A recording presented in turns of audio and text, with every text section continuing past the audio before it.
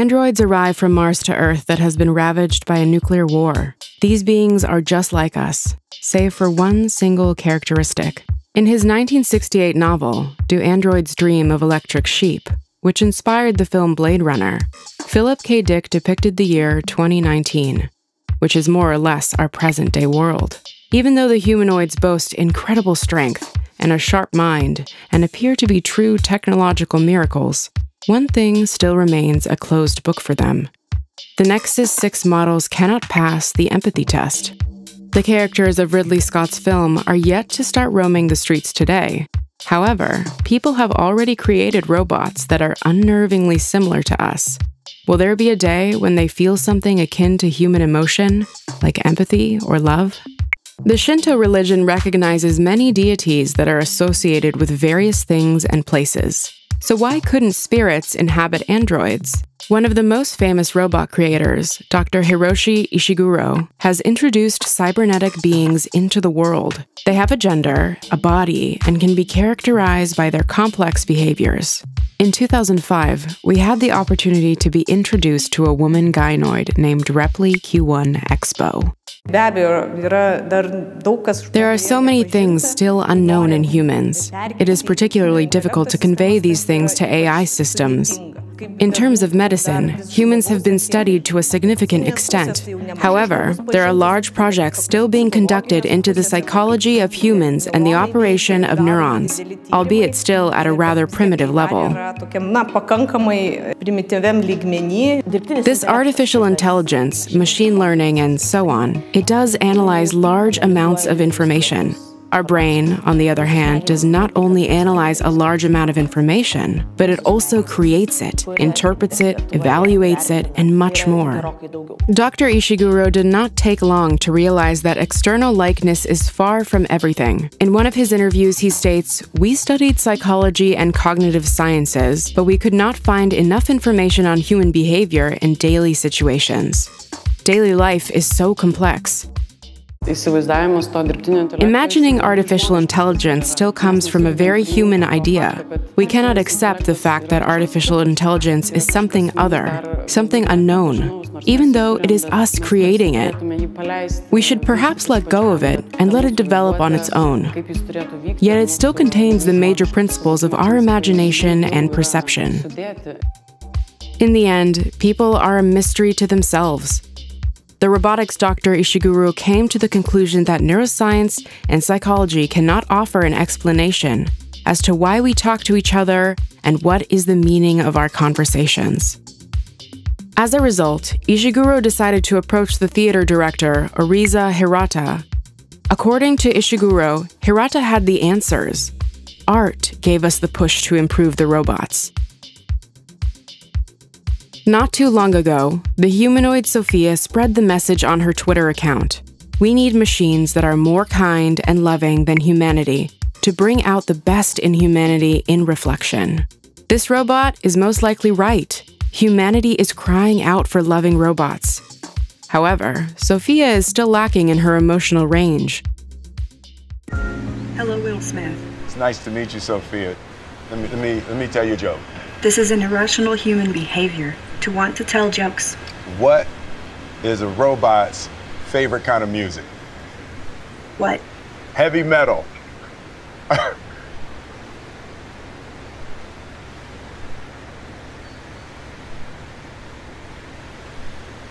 I'm actually made mostly of silicone, plastics, and carbon fiber. Also, I prefer electronic music, but I don't mind 80s hip hop. Ironija, metaforos įvairios. Irony, metaphors, humor. AI finds a big challenge in ambiguity and the multiplicity of meaning. Despite that, I think that we can be the witnesses to the literary works that are generated by the AI.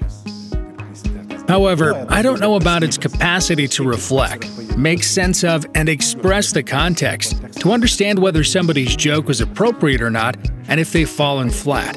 Could it be that humor, empathy, and love will forever be a closed book for artificial intelligence beings? If we take a look at how the brain was depicted in the 19th century, where factories and machines stood as our goals, we can still see drawings of the brain with gears.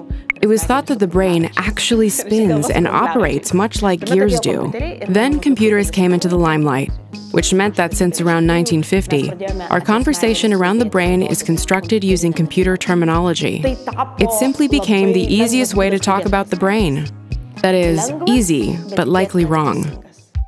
The word robot comes from the Czech language where the verb robotovat means to work or to slave. This term was first used by the brothers Josef and Karel Čapek in their 1920 play Rossum's Universal Robots.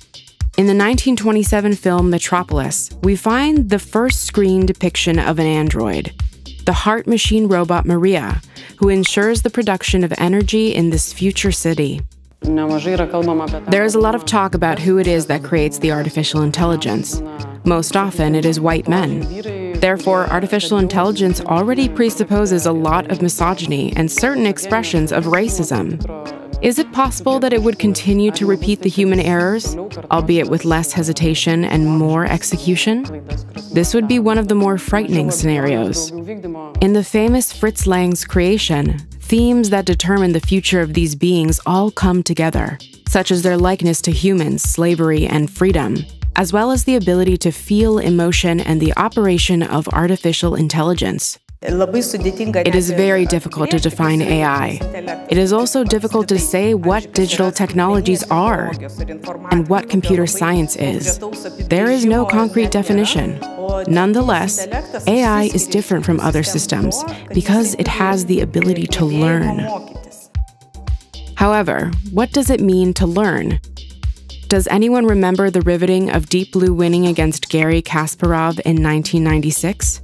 During its first ever game, the computer won chess against the world champion.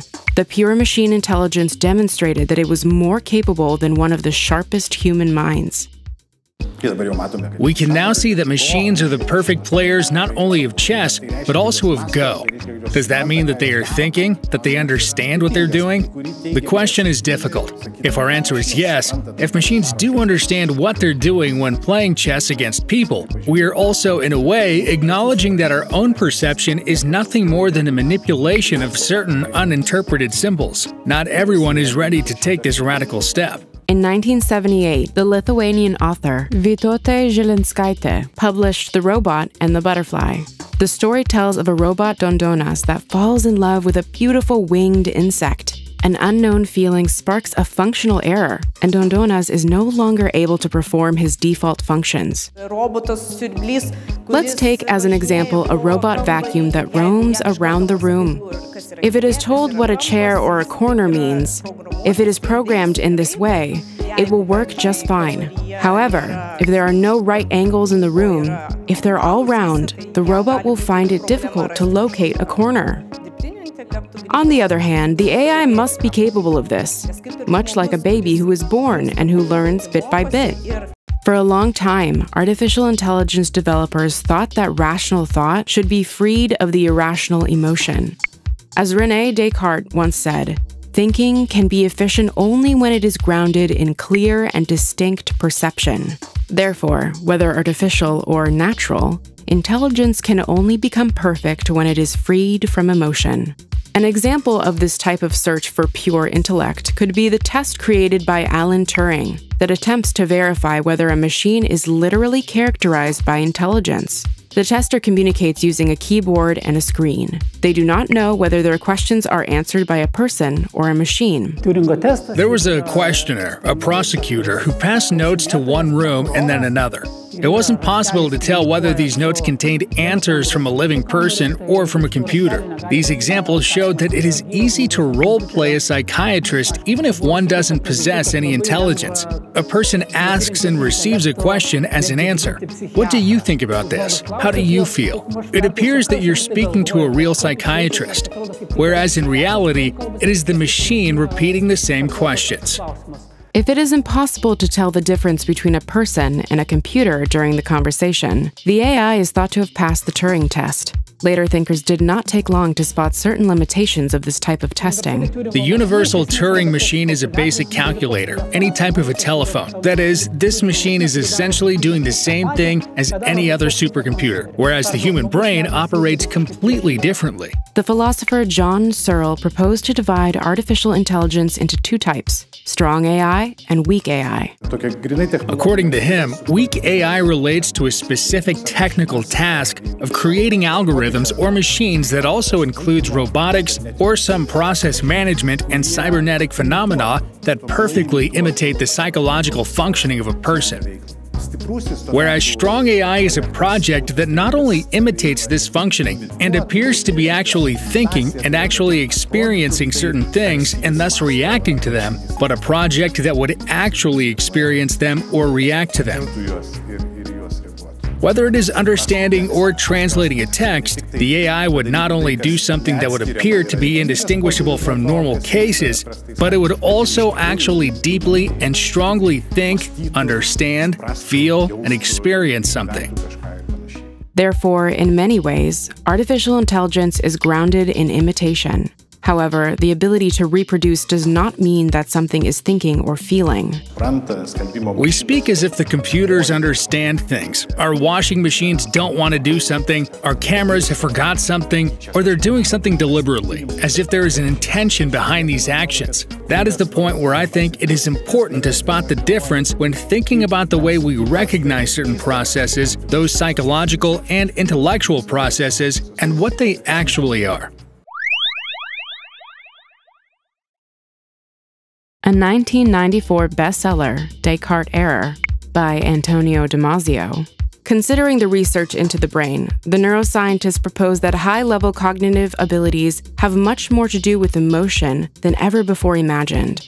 He rejected the contraposition of mind and emotion and suggested that fact based reasoning also depends on the ability to feel and regulate emotions. According to Damasio, emotions and feelings on the whole are not the invaders of the mind's bastion. It is more likely they are distributed across its networks, whatever that may mean. It is unsurprising that there were so many changes in the 90s. Artificial intelligence researchers became interested in developmental psychology and reimagined artificial intelligence as a child that grows and learns. For example, it absorbs knowledge from its environment and the world. In 1995, the MIT scientist Dr. Cynthia Breazeal established a laboratory with the aim to create a Kismet, an effective computational machine that could recognize and imitate emotion. The name Kismet originates from the Turkish word that means destiny and sometimes luck. For the robot to be able to communicate with people, it was equipped with devices that enable it to hear and see, a simple example is that of facial recognition. We firstly have to tell the AI systems that this is Jonas, that is Petrus, and there is Olga. Only then is it able to recognize them. We have to collect a lot of data when we know what we want the AI to do. Then the AI, by way of machine learning, learns to search the data for links, the individual's special features. Only then is it able to recognize the person that was not in the data set in the first place, and to do this quite accurately. Paskui atpažinti žmogų, kurio toje duomenų aibėje nebuvo, atpažinti jį gana, gana tiksliai. We limit ourselves if we equate the brain to a computer. We examine only certain aspects of the brain when we think of it as if it's a computer. Depending on what language we use, this massively influences the way we perceive and assess the object. Example of the Inuit people and snow. Even though our understanding of snow is very simple, Inuits have tens of words to describe snow, and they perceive snow in a variety of ways. This applies to the brain too. When we think of it as if it's a computer, for example, input, output, computation, we think that we remember in the same manner as computers. However, every time we remember something, we in fact create that memory. In essence, it is entirely different from the working of a computer. Perhaps we should stop looking for a human brain inside the computer and instead take a different route. My name is Nomeda. Hello, my name is Gediminas. The artists Nomeda and Gediminas Urbonas believe that artificial intelligence could learn from ecosystems other than humans, especially from swamps. Scientific studies into the economic value of ecosystems name swamps as the most valuable ecosystem compared to forests, lakes, rivers, and oceans. The Swamp Mind is an experiment where, together with the data scientist Janis Kobelis, we are trying to create an artificial intelligence and swamp hybrid that would operate beyond the human imagination. Swamp Mind generates real time, complex concepts that are compromised of living and architectural forms as it attempts to imagine the potential architecture that is based on the logic of natural processes.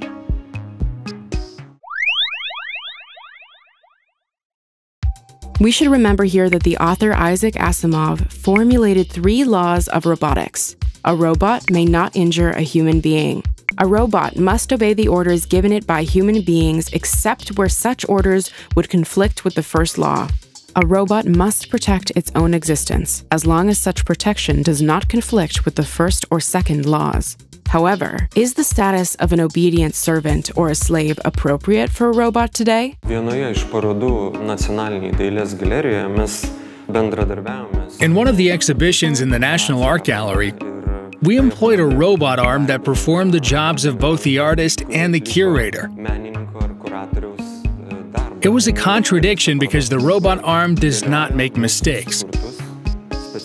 However, we assigned it to a complicated task to arrange objects without knowing what the most perfect arrangement of those objects would be. It was called the hesitant arm.